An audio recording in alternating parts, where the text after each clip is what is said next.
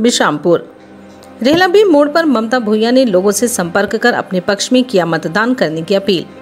बिशामपुर नगर परिषद अंतर्गत बी मोड़ पर राजद प्रत्याशी ममता भूया ने जनसंपर्क अभियान चलाकर अपने पक्ष में मतदान करने का अपील किया।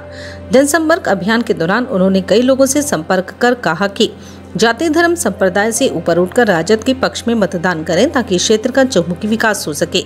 उन्होंने यह भी कहा कि पलामू संसदीय क्षेत्र का समुचित विकास अभी तक नहीं हो पाया है। इसका मुख्य कारण दूसरे राजनीतिक दल के लोग प्रवासी नेताओं को अपना प्रतिनिधि बनाते हैं। बाहरी लोग यहाँ के विकास के बारे में नहीं सोचते हैं।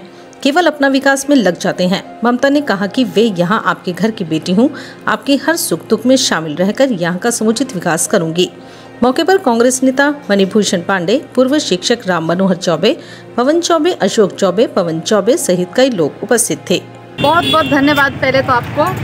और यहाँ पे काफ़ी उत्साह देखने को मिल रहा है हमें। सभी गार्जियन का मेरे ऊपर आशीर्वाद है। इसके लिए मैं काफ़ी अपने आप को धन्य महसूस कर रही हूँ।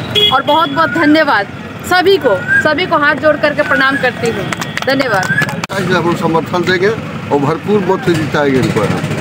क्या नाम है आपका? Ram Manohar Chaube Gupta IT solution BP plaza के बगल में मेन रोड गरवा यहाँ मिलता है सभी कंपनियों का सेकंड हैंड लैपटॉप वो भी वारंटी के साथ और मूल्य बिल्कुल आपकी बजट में। साथ ही यहाँ लैपटॉप रिपेयर भी किया जाता है। तो देर ना करें, अगर आपको भी है सेकंड हैंड लैपटॉप लेना, वो भी अच्छा कंडीशन में जांचा परखा हुआ वारंटी के साथ तो अभी संपर्क करें। Gupta IT solution BP plaza के बगल में मेन रोड गरवा विशेष जानकारी के लिए नीचे दिए गए नंबर पर संपर्क करें।